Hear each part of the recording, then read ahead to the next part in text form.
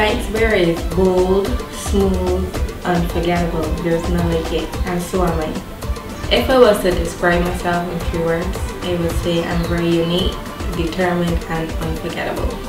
I should be chosen as the next Banks Calendar Girl because, like the first ever Banks Calendar Girl, Cynthia Dawson, whom is unforgettable. I think Banks needs someone who is unforgettable,